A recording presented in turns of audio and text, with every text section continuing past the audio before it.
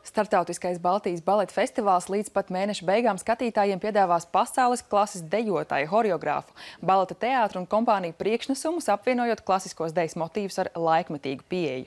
20. jubilejas festivāls jau tradicionāli tiks, um, tika atklāts Rīgas dzelzceļa stacijas piepilsētas zālē. No turienes nu pat atgriezusies mūsu žurnālisti Aneti Lesīti. Startautiskā Baltijas baleta festivāla atklāšana Rīgas dzelzceļa stacijā ir kļuvusi par gadskārtējo tradīciju, bet tieši šogad skatītājiem būs iespēja kļūt par mākslas tapšanas procesa lieciniekiem un pārliecināties, ka balets tik tiešām nepazīst robežu. Jūs ieņēmuši labākās vietas pirmajā rindā. Mēs neesam labākās vietās. Tur augšā ir labākās vietas. Nav garām iet, nav.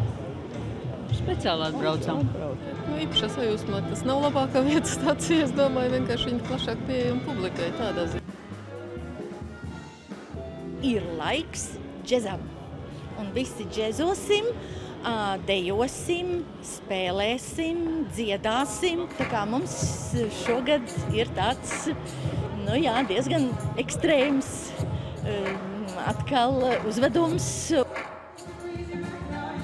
Pirmo reizi Startautiskā baleta festivāla atklāšanā piedalās Mūzikas akadēmijas horeogrāfijas un džeza katedras studenti. Džēzus vispār tomēr savā ziņā arī diezgan demokrātisks. Tas nav klasiskais balets uz pontiem, tas nav iestīvinātā salondeja. Tā ir tāda emocionāla dzīve saskarsme ar skatītāju. Šis tomēr ir džēza koncerts, kas ir nedaudz savādāk nekā citos gados, kad parasti notika balti, vairāk tikai saistīts ar baletu uh, dejas.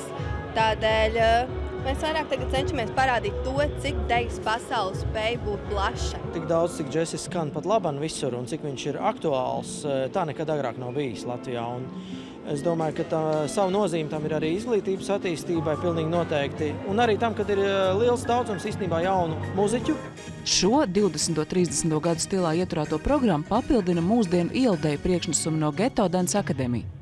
Geto Dance ir tā dejotāja apvienība, kuri dejo hip-hopu un hip-hop kultūras dejas. Viņi apvienojas vienkārši kopā. Mēs dodam iespēju apmācam arī, lai varētu izplatīt to kultūru vienkārši vairāk. Iznākot no B-tuna, ir dzelzceļa stacijā skatītājs gaida pārsteigums, jo šī vieta vairs nav tikai tikšanās, šķiršanās vai mūžīgās kustības vieta, bet arī dejas vieta. Baltijas startautiskais baleta festivāls ir atklāts. Festivāla atklāšanā bija Anita Lesīta un Artēmijas Leskaus no Latvijas televīzijas.